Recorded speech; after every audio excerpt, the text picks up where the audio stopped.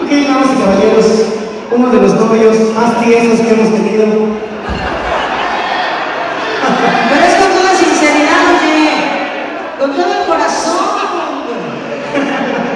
Gracias, amigo. Chicos,